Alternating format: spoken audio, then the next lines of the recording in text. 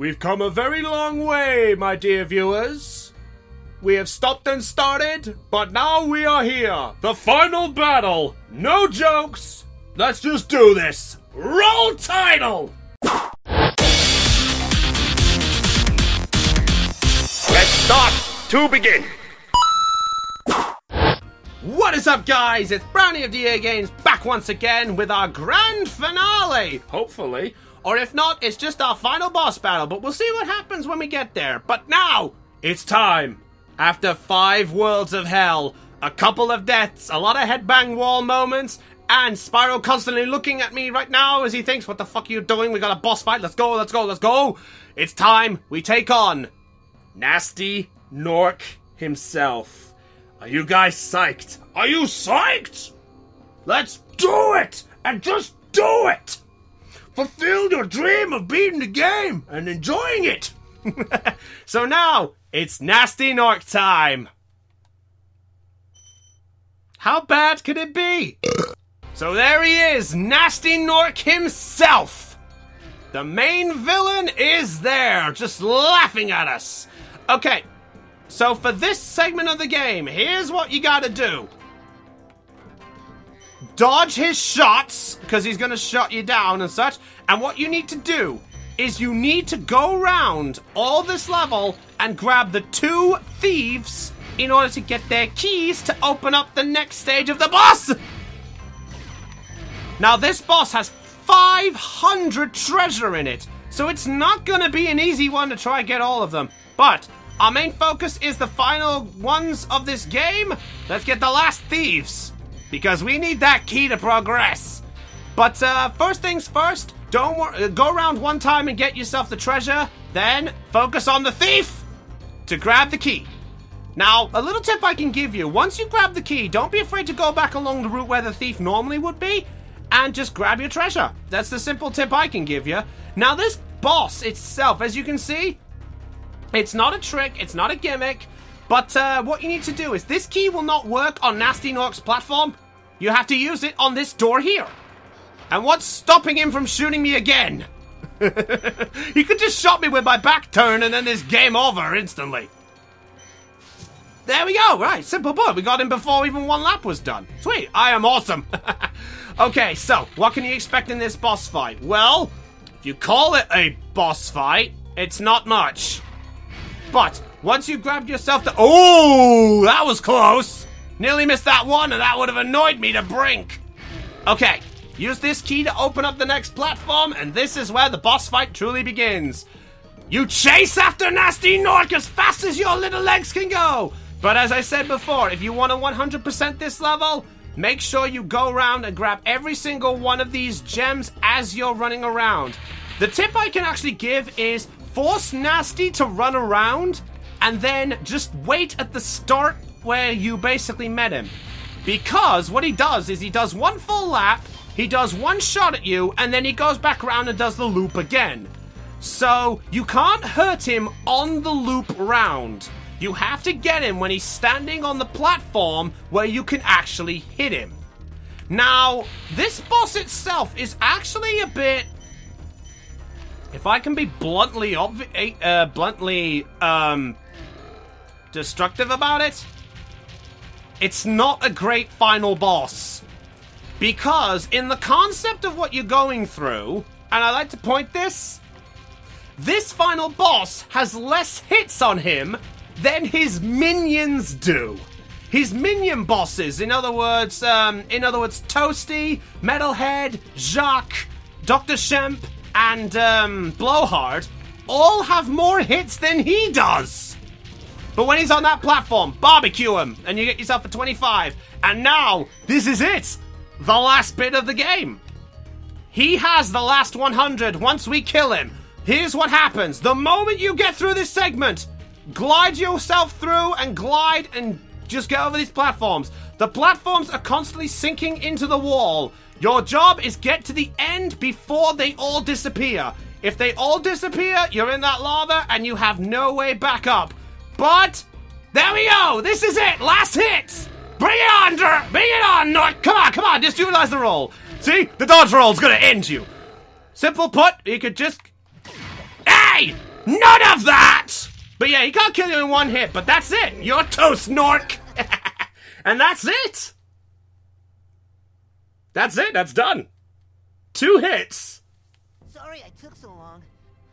Forgot about it. What about Gnasty Gnorc? Gnasty Gnorc is toast. So now there's order again in the dragon. the sheep. Well, mostly. I love the sheep. Still got some treasure to pick up. Ah! What will you do next? I'd say the sky's the limit. So basically, that's the ending you get once you beat Gnasty Gnorc. So it isn't too much to look at on this one. But uh, there are some credits we're going to have to deal with. Oh, god damn it, Nathan. Why'd you come up now? I'm so sorry. Alright, uh, so basically put, we still have one dragon to get before this game is fully done. So,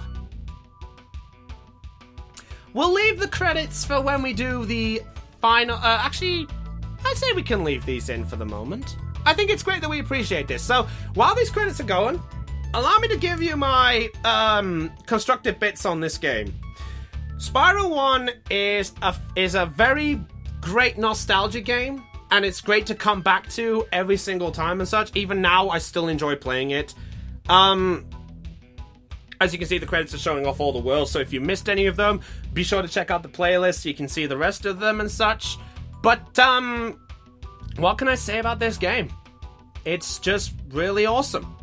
It hasn't aged as much as Spyro 2 and 3 has, but it still shows you that fantastic start to where it goes. That's why, if you ever go back and you ever want to play any of these games, feel free to play the original Spyro. Ah, Stuart! That was it. I thought it was. St- I thought it was Steve or Steven. It was Stuart. There you go. Shoot me in the foot. this is now what I'm probably gonna get told. But anyway, uh, Char- uh, let's see. I believe we get some voice voice names. Yeah, there we go. Clancy Brown, who you know is um, the voice of um, uh, Dr. Neo Cortex, and I believe the second name is the voice of Rocko himself, Rocko's Modern Life. For those of you who don't know. So yeah, that's a fantastic thing. The weird thing though is, is it's weird to say. Oh yeah, Carlos Al- Al-. That's the voice of uh, Rocko from Rocko's Modern Life. Peter Kleiner, it's your fault that we have all the thank you for releasing these. But yeah, um, the game's got good graphics for what it has for a PlayStation title, and you know, you don't have to enjoy like fancy 3D graphics of like proper thing, like cuts on faces and you know, attention to scales and stuff like that. There's nothing wrong with that. That's awesome. Don't get me wrong. But uh, I've really got to deal with this. No sheep were harmed during the creation of this game. I'd like to confirm that. A few Gnorcs, but no sheep. There's a reason behind that, by the way. Some of you guys probably don't know is the adverts had the fact of the sheep being hurt in those adverts, so that was their way of paying homage to that. Now, after you beat Gnorc, you're back here. But take a look. The last dragon head hasn't opened up. Why hasn't it opened? Now, I'd like to point out I have no idea what happens if you don't release the dragon from beforehand. Whether it creates a glitch in the game or they both appear, but this dragon's in the same spot as where Delbin is. But now, let's get our last dragon Magnus! Gnasty's ancient history now. So, what's in there? I believe this is Gnasty's treasure hoard. But the gate will not open until you have found everything in the Dragon Kingdom. Come back when you have reached 100%. So, if you've done everything correctly, that dragon should be the last one you find. That dragon there. And if we turn the camera to our left, right, now. There we go! The last level of the game Gnasty's Loot. Look at that. If you've done everything correctly 12,000 treasure and 80 dragons and 12 dragon eggs. That is all you get. Now, you may have noticed I said there wasn't a flying level. I could be slightly wrong. This is actually your flying level of the game. That's right, a flying level and a platformer is your final level of the game. And this is the biggest haul of treasure in the game. Now, here's the weird thing look where you're starting. We have to glide to one of these places, so let's glide over here just because. Ah, Spyro has now gained the ability to fly, ladies and gentlemen. Now, here's how this level works. In this level, there are no ones, twos, or fives. The level is tens and 25s galore. Because I'm going to keep this a secret so you guys can get. In fact, let's have this a small random question. If you've never played this game before, how many gems do you think are in this level? Think about how many we've done so far and the maximum and such. Let that be something to see what you guys can do. So let's see if you guys can get close. No looking up either. but yeah, here's how this level works, by the way, for a finale. Every time you jump up the platforms, the higher you go on platforms, the higher Spyro's reach is that he can fly. He cannot fly any higher than the maximum height of the platform that you have reached, or the maximum height. So because we're jumping here, this is as high as we can go. See, I'm holding down to go up and it's not working. So basically put, you need to progress through the levels and go up the platforms to go higher and higher and higher. If you can beat this level 100%, you get the final ending of the game. But the thieves are back! I thought we were done with you! Nope, there's no way we're done with these little bastards. Which is why I'm gonna try and grab him. Oh come on, that was that was a hit. This might take a while. I'm gonna go the other. Hey! Oh, one last headbang. Come here, little thiefy. Oh! He ran into us! I'm gonna give you the key! He surprised me! I generally thought he was gonna run the other way! Why didn't he do that? But yeah, take a look, guys. Look at the levels. Uh, look at the look at the thing so far. We're at 350, and we're still going up. So now that we're that high up on platforms, oh shoot, I didn't get it. Okay, so I'm gonna have to go back to that height of level uh, height, height again. So next key there. So um, hope you guys are enjoy. Hope you guys have enjoyed this playthrough. I've enjoyed playing it for you guys to see and stuff. So I'm hoping you guys are willing to take an interest in the other Spyro games because you know it's a great bit of fun. Anyway, over here for the next key. Banzai! Oh, that 25 fell out and I didn't get it. Oh, you sneaky. All right, and because we need to show off this skill one last time, let's do it. Choo! Boom! Headshot! I am gonna miss that because they never let you do that in Spyro 2 ever again. That's why I always enjoy this game for those little perks. Okay, so take a look. The total is still going up. Up there is the final uh, warp point of the game, by the way, guys. So if you're going to try and make your way to everything, that's where you need to go. All right, so open up this door here for your next. Hey! When did you grow wings? Did you take Red Bull again? Red Bull gives you wings? I never was a fan of Red Bull. I never have been. Alright, so for this little segment, now what we need to do is take out the thief. Now, the thief it can only be grabbed at certain points. But, uh, but first of all, let's do this. Activate that rocket. Come on, calm down, calm down. There you go. So that activated that one there. So let's see if we can try and grab our thief. Come here! Come on! I'm a dragon! There's no way I would lose to it. There we go! Very good. Going down, going down. now open up this one to activate the next one. Now here's what happens. This is the last key door we need to find. There's our last thief. You guys ready to try in this? So let's do it! Now this is the probably the I fucked up my peas. So for this little one, this is gonna take a little while, so it may need a little bit of a a little bit of an edit on this one if we can't seem to get it. But um, the idea of this one is you can't go backwards on this one because he's just too uh, he's just too quick in that plane to go backwards and such. You need to cut him off at the corners as best you can. Don't worry if you don't get him on the first try, because I don't think there is a way you can, or if there is, Please tell me and, you know, shut me up. This is gonna take a while because he doesn't fucking slow down, which is annoying.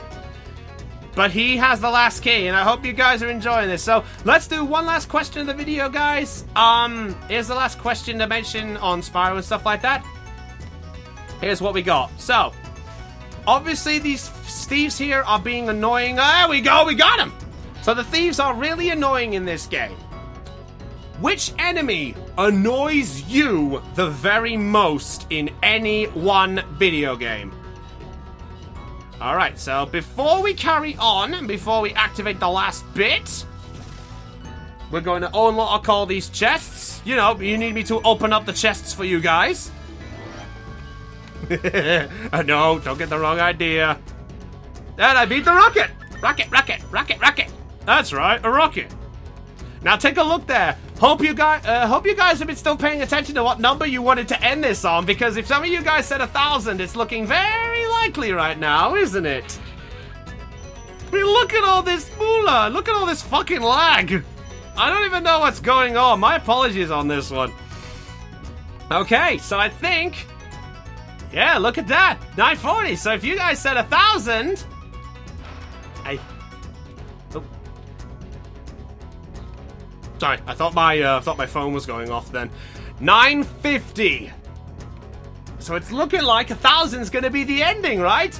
No, it's not. But once you get unlock that key, you open up the whole level for your criteria to search.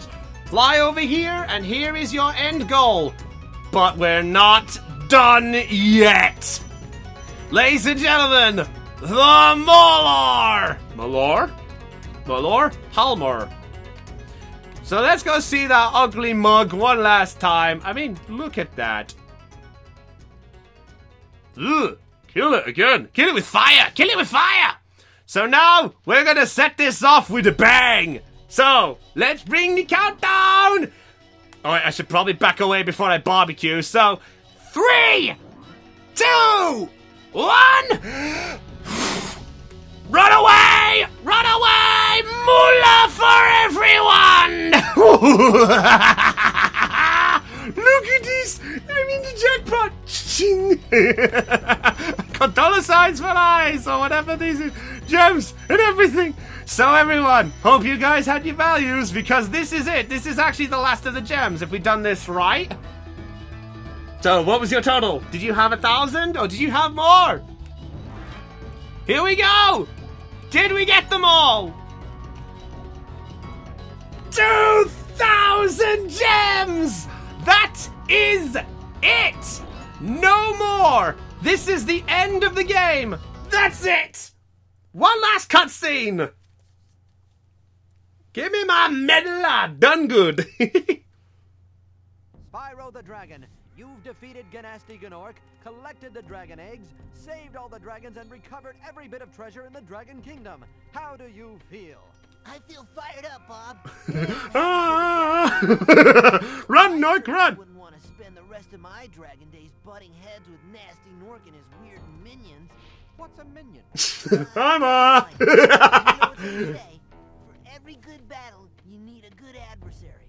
And I felt that Gnasty, Go Thomas, go Thomas, go. Thomas.